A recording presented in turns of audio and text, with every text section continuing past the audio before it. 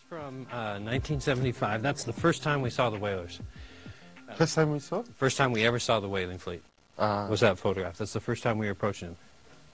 The thing is, when, when Greenpeace was starting, what we wanted to do was we wanted to create an environmental movement. We thought, well, you know, there's a civil rights movement, there's a women's movement, this is all great, but there needs to be an environmental movement. We weren't really thinking of starting an organization.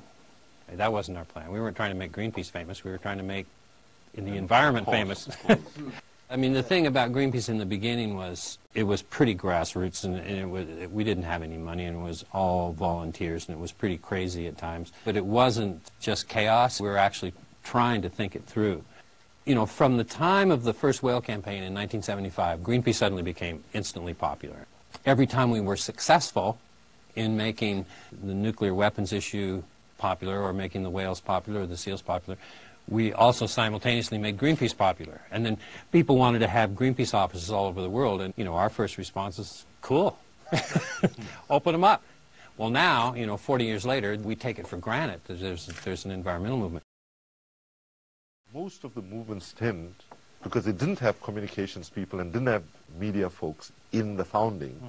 tend to speak to themselves. Right. Because you see, the, the idea of direct action, which we got from the Quakers, really, and from Gandhi and from others, is the action has to speak for itself. When you get between a whaling boat and a whale, right, or when you sail a boat into a nuclear test zone, you want to create an action where anybody can see that photograph on the front page of their newspaper anywhere in the world and they can immediately understand what's, what's going on. Because remember, I mean, the whole idea is to go directly to the consciousness of the public.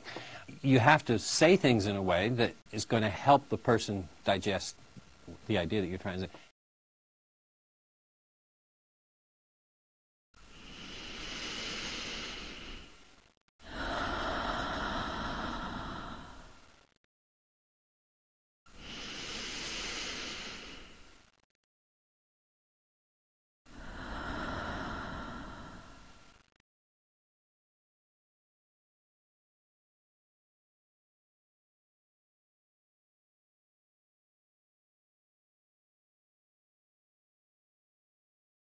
Well, uh, it's called the Great Pacific Garbage Patch, an area of marine debris concentration in the North Pacific Ocean that also affects marine life here in Hawaii. Every year, 20 tons of plastic ends up on Midway Atoll.